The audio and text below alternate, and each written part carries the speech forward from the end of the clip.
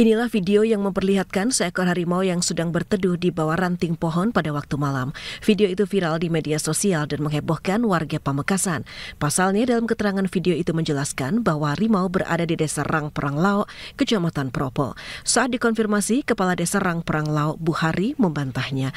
Menurutnya video itu adalah hoax. Ia sendiri juga kaget dan tidak tahu jika video harimau yang viral itu dari desanya. Akibat video itu, polisi dan warga banyak yang bertanya hingga ada yang yang datang langsung ke desa Rang Perang Lao.